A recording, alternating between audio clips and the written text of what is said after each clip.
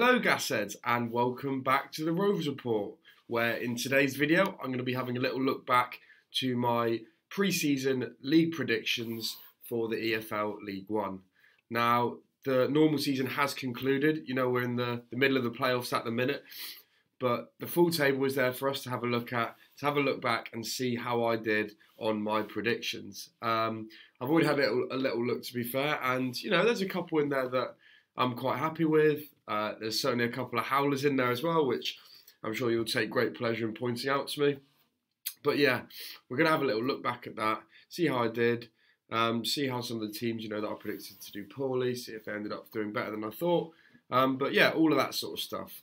Um, just because the season's over doesn't mean the content's going to stop. So, you know, this is going to be the first of uh, probably two or three videos coming out this week, and we're going to continue on that going all the way through pre-season, you know, looking at transfers, all that sort of stuff. So if you are new around here, be sure to subscribe. If you enjoy the video, smash it a like. Um, and if you've got any thoughts on this video or any others, as always, be sure to leave your comments down below and I will get back to you. Um, with that being said, let's get straight into the predictions. Right then, let's get straight into it. And we're going to work our way up from the bottom to the top so coming in at 24th place this season was Forest Green Rovers. Uh, obviously, Bristol Rovers neighbours from just down the road in Gloucester. Um, and I actually had them predicted as going down. Didn't have them as bottom, had them down at 21st. But, you know, a lot of the predictions that I made pre season have actually come true. You know, it was a turbulent summer for them.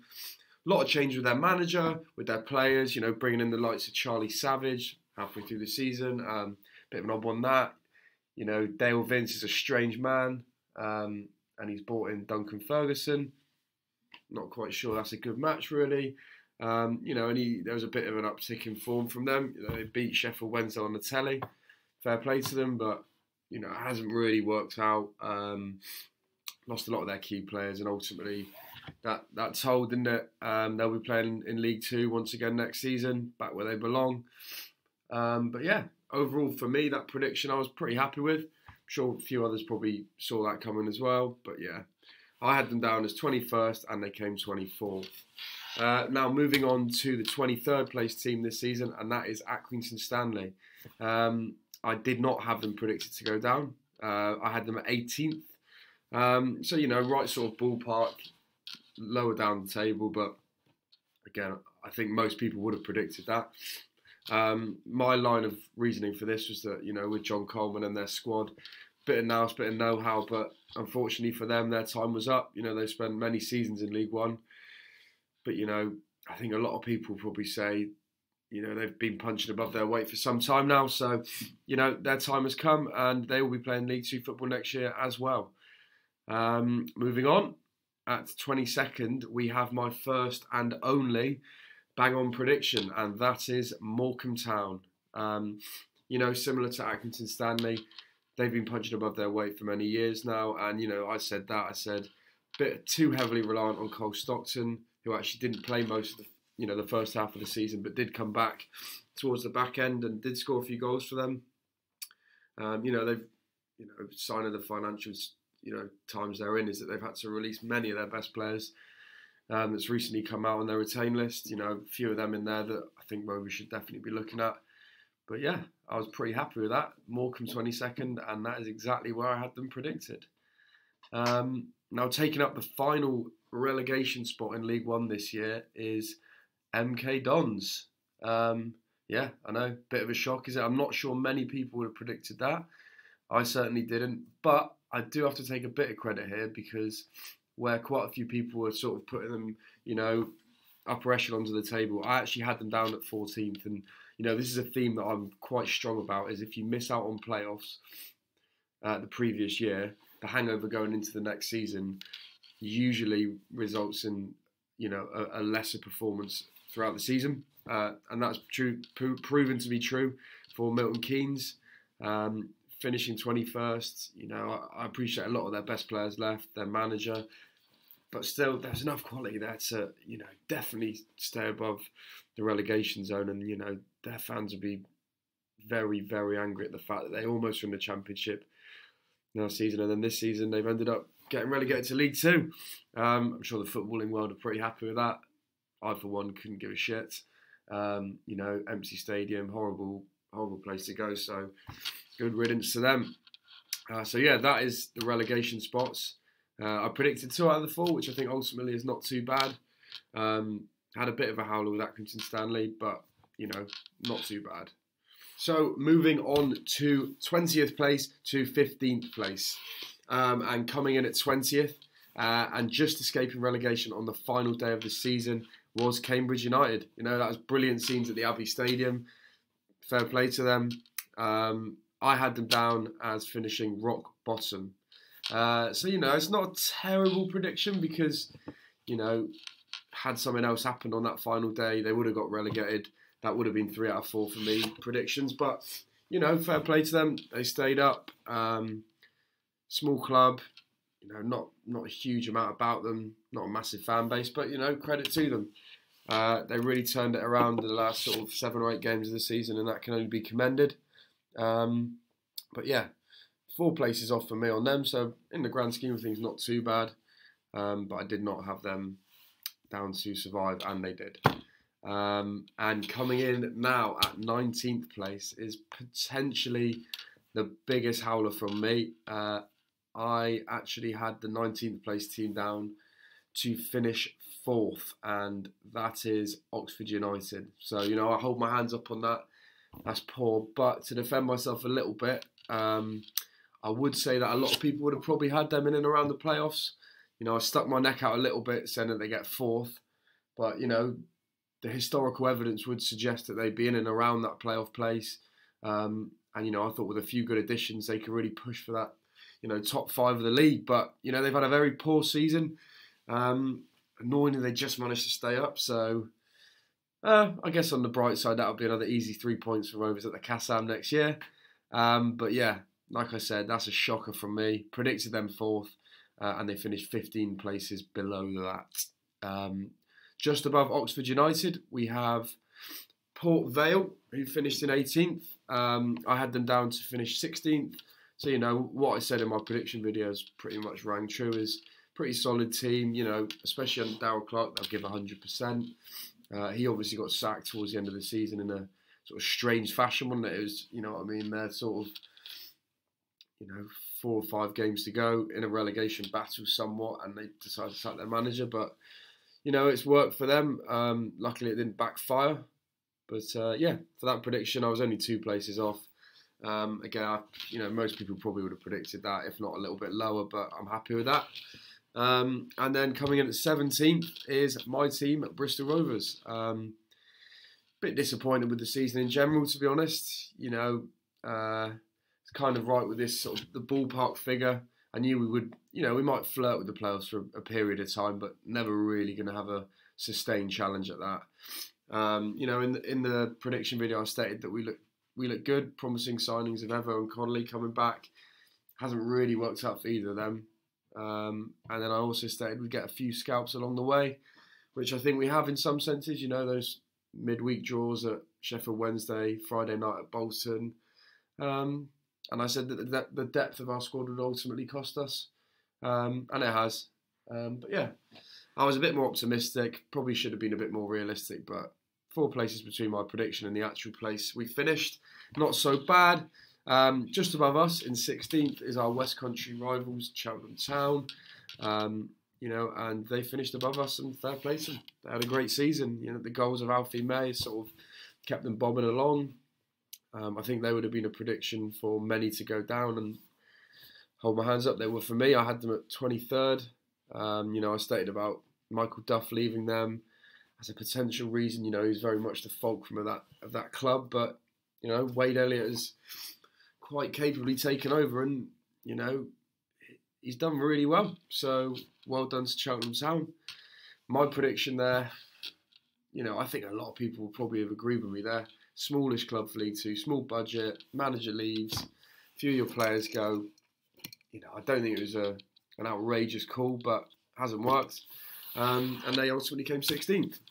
Uh, and then coming in at 15th, we have Burton Albion, who I predicted to come 20th.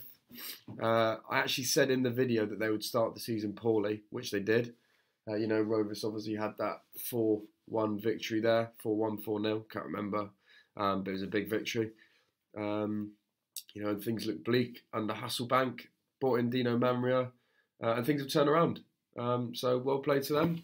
And yeah, that is 20th to 15th. Didn't really do too well there, to be honest. You know, Port Vale, I pretty much got right, and then all the others I was four or five places off. So yeah, not particularly happy with that. So now let's move on to 14th to 10th place. And yeah, I think I've done a little bit better here, to be honest. Uh, this is probably my most successful region of the table in terms of predictions. Um, and at 14th place, we have Exeter City, who I had down to finish 15th. Uh, you know, I think a lot of people saw them potentially struggling. I actually thought, you know, coming off that back end of League Two season last year, they were really good to watch, really positive football. Um, and I think a lot of people would put off early bells that none of their, you know, they didn't make any signings. Um, but for me, I, you know, I, have seen them play a few times the last couple of years, and I've always been impressed. Uh, so you know, I had them down as a surprise package, and I think in many senses that's true of the Grecians. So yeah, I'm happy with that one. Um, moving on, I had Fleetwood Town down at 12th. They finished 13th. So again, in the right sort of ballpark, and I'm well happy with that because again, I think a lot of people saw them flirting with relegation the last year and thought they might do it again. But you know, I saw Scott Brown come in and thought, you know, they'll get a bit of a bounce from him. They made some good acquisitions. You know, Josh Vela coming in. Um, you know, back end of the season, they made some very good attacking signings. Um, so yeah, one position off in that, which I think I consider a success considering some of my other predictions. Uh, speaking of poor predictions, coming at 12th, we have Shrewsbury Town. You know, I stuck my neck out again a bit here and put them at sixth prediction, but you know, seems a long way off. But in, you know, in my opinion, I think you know they flirted with the playoffs for a little bit. If they had a bit of a stronger squad, a bit more depth, they might have stuck around there. You know, they were at time they were sort of pushing for that playoff spot. There's only the last couple of months where injuries cost them. Um, so yeah, it looks a poor prediction, and it probably is, but there's a couple of reasons behind why I think it's not so bad. Um, this one, the next one, I can't really say anything for. Lincoln City came in at 11th, uh, where I had them at prediction 19th. Um, so yeah, again, hold my hands up on that. Pretty poor. Um, I wasn't that excited by them. Um, they weren't that exciting this season, but you know, a strong, strong home form is a good ba- base to build off of. Uh, and fair play to them for finishing so high at the table um, when probably a lot of people wouldn't have had them up there. So, be interested to see how they perform next year. Uh, and coming in at tenth, we have Charlton Athletic. Um, it's a bit of a weird one. Hear me out on this though. Uh, I'm happy with my prediction for this because I saw a lot of people's predictions saying they'd be in the playoffs up there. Uh, I had them down to finish 17th. So you know, even though it's seven seven positions off where they actually finished, the fact that I saw and thought, you know, this Garner project isn't going to work, uh, I'm taking a bit of credit for that. So you know, I'm happy with that. Like I said, probably my my most successful region of the table. Um, and yeah, let's move on to the rest of the table. Moving on now to we will go from ninth place all the way up until the top two. So yeah, ninth place is Wycombe Wanderers. I had them down at 11th. You know, again, not a bad shout really, to be honest. Uh, I said again about the playoff hangover, which I think is a real thing, to be honest. Uh, I knew they wouldn't, you know, be back up there again. Some of the sides that came down uh, and some of the sides that built over the summer are just better than Wycombe. Uh, you know, obviously Gareth Ainsworth, the rat, has left them. Uh, so you know, it'll be interesting to see how they do next season with Sam Vokes at the helm. Uh, horrible club. Uh, at eighth place was Portsmouth. I had them down at ninth, so again, pretty decent prediction. But you know, I think putting Pompey anywhere from fifth to ninth is probably one of the safest bets you're going to have in League One. A decent season, but their fans will be annoyed they haven't managed to make something more of it.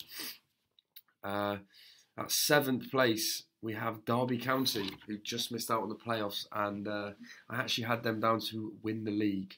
Um, maybe I was too, you know, drawn in by their big money signings and, you know, the hype that was going around pre-season, but ultimately didn't gel quite as well as they wanted. Um, you know, they spanked Rovers at their place, and they've obviously got some good players in that team, but it just didn't work out for them. Um, yeah, like I said, I got drawn in a little bit. I think many others probably did, but ultimately I was I was quite far off it. It didn't even make the playoffs.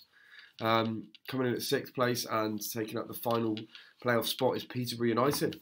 Uh, and fair play to them. On the day I record this, uh, I watched them last night absolutely demolished Sheffield Wednesday in the first leg of the playoffs.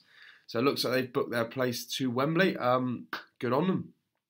Uh, I said that JCH's goals would, you know, get them into the playoffs. I actually had them down at third place. Um, and at fifth is Bolton Wanderers, um, and I had them just missing out on the playoffs, which, you know, not to look wise after the event, but I still think that's a good shout. You know, they had a lot of problems in that team. Ian Evatt's not a proven manager, but you know, credit to them, they've made it into the playoffs. Um, playing Barnsley today in the first leg uh, should be an interesting playoff game. So, well played to them. Um, I was only two positions off, and you know, when it gets around that playoff, it's sort of a flip of a coin, isn't it? Um, but I had them at fifth, at seventh, sorry, and they finished fifth. Uh, and then Barnsley finished fourth. I had them down at fifth. So again, you know, I know I'm talking about it when it comes to the playoffs. Um, you know, I wasn't too fan of them, you know, potentially finishing in the top two. Um, but yeah, that's where they finished. Finished fourth. I had them down at fifth. Um, and moving on to the team that finished third this year, and that is Sheffield Wednesday, uh, who I actually had down as the team to win the division. Not win the division, sorry, come second. But, you know, unfortunately for them, they finished on 96 points and didn't get automatics, which is heartbreaking, isn't it? But, you know, you would have thought they'd go into the playoffs and win, but like I said, they've lost 4 0 to, to Peterborough, so it looks like they will be staying in League One next season. And then finally, we move on to the top two of the division, which is, of course, Ipswich Town and uh, champions Plymouth Argyle. Um, and I hate to say it, but unfortunately, I've had a shocker here for both of them. Uh, start with Ipswich Town, who obviously finished second. Uh, I had them down as eighth. Yeah, so not even in the playoffs. Um, you know, one of the best League One teams that's ever been, uh, and I didn't predict them to even make the playoffs. That is a howler. Uh, I can't even really defend myself on that. Just got to hold my hands. I think my reasoning was something to do about you know the relegation hangover, whatever. But I think it's a poor shout. Um, not sure what I was onto there, but to top that with an even worse prediction, I had Plymouth Argyle down at tenth. Uh, yeah, so poor, so poor, and it's embarrassing. Um, I'm sure I'll get stick for that in the comments. But yeah, I think I actually said there will be a few teams better than them this season. Uh, yeah, again, not a single team better than them this season. So, you know, that's what happens sometimes. You make calls, you stick your neck out, and you look like a fucking idiot. Um, there you go. It happens. But yeah, that has been my reaction to my preseason predictions. Bit disappointed I only managed to get one bang on, uh, and it being quite a boring one. But, you know, there's a couple of good ones in there. Uh, overall, pretty subpar from me. Let me know if you did any predictions or let me know what you think of mine. Um, I'll be interested to hear your reactions to that. But thank you guys for watching. Uh, like I said, look out for more new content coming the next couple of weeks. You know, we're going to have end of season awards, transfer news, preseason fixtures, uh, and anything else you want, let me know. Um, but yeah, I've really enjoyed taking a look back at that. Uh, if you have as well, give it a like. Um, and I will see you later.